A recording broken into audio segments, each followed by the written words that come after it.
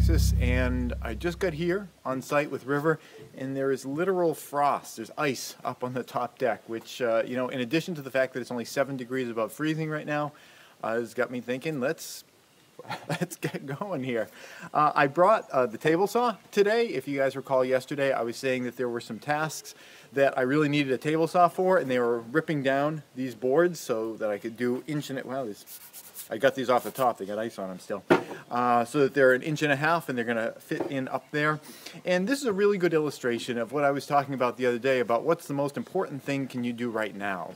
Uh, you know, when I was realizing I needed these little strips here, you know, I could have spent extra time and done not quite as uh, good of a job, uh, you know, kind of clamping these down and doing the, uh, you know, the battery-powered uh, handsaw down, uh, down the side of them. I could have made them. They would have taken more time, and I wouldn't have done as good of a job.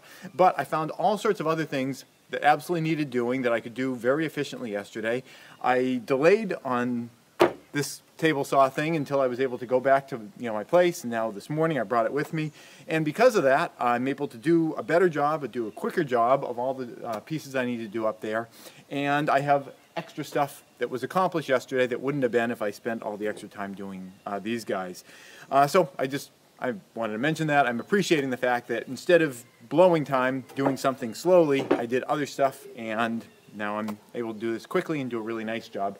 Uh, as you can see, Josh uh, was spending yesterday moving boards up he almost got the entire pile gone. There's a little bit of foam left over here, but I think we might even just be able to leave that because it's off to the side. And the site work people who vanished, again, uh, they told me that they were going to be, you know, here until the end, uh, the last time they showed up. But earlier at the beginning of the week, they showed up and just took their equipment and left. Uh, I have uh, some communications in with them, asking them like, you know, what's going on. I know that they have some paperwork issues with the Board of Health. They uh, they haven't filled out all the right forms and everything uh, in order to work in the town. But as far as uh, they were telling me, that's not a problem for them beginning the septic system work. It's certainly it's not illegal for them to start clearing the area, knowing that that's where they're going to put the septic system. You know, they can begin that kind of work, and you know, as long as they have all the paperwork in order before they actually start installing things, that should be fine. I'm thinking that there was just some other client of theirs that has some kind of an emergency or is more of a complainer than I am, and they pulled their stuff off site and they're doing that. That's cool, I guess. Uh, you know, I, I'm one of those big advocates. If you say you're going to do something, it's kind of a good idea to do it. It, you know, leaves people trusting you and all those kind of good soft people skills that people seem to forget these days.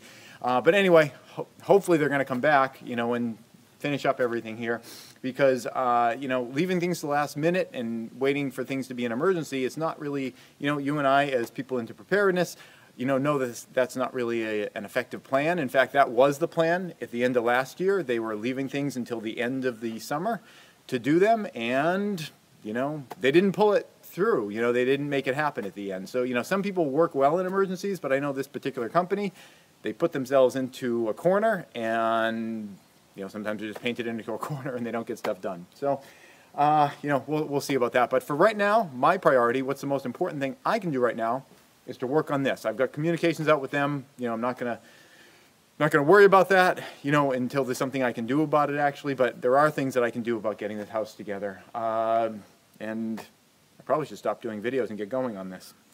Do you think it's a mistake? I'm, I wasn't thinking about actually connecting the uh, table saw to the, uh, the bottom because I'm going to be storing this in the root cellar and I don't want to keep unbolting it. I guess it'd be dangerous if I was doing long boards, but for short boards like this, and as long as I tell everyone it's not connected, I think I should be all right. It just saves time not having to like reconnect and unconnect that every day that I put it in the root cellar to keep it safe. That's it. Thanks for watching.